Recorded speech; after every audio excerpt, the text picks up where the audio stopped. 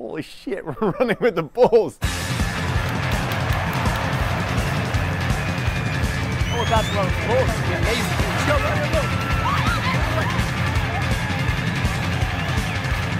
puts you in a situation where you usually don't want to be because you don't want to be next to bulls, but you still do it. And this bull stopped and it looked me in the eyes and I was scared as fuck. And I saw its eyes and I'm like, oh man, I could see this the the fear, the anger, the fury in this bull, and it came right at me. We partied, sangria everywhere.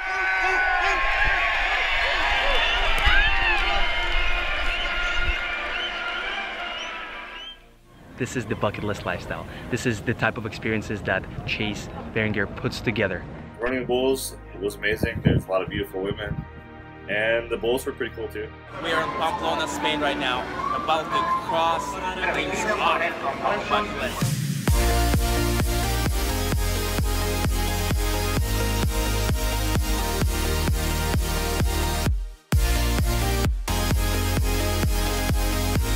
The, the best thing for me outside of running the Bulls was really just being with a good group of guys, though.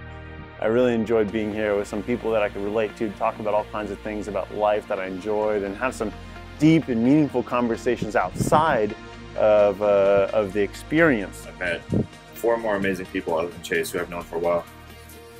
I don't know if I'm going to be able to talk a trip like this ever, unless I come back here with the same group of people and we just try to outdo ourselves again.